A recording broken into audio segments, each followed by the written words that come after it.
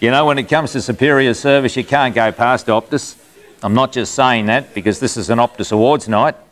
I said exactly the same thing last month at my Telstra function. and they really appreciated my honesty. NBN connection issues. That's all I've written of that joke.